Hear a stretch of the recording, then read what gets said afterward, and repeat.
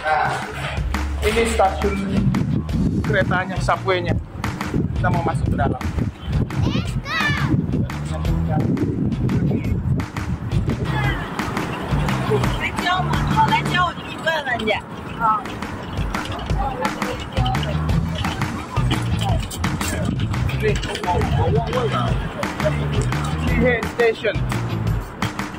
Ini stasiun.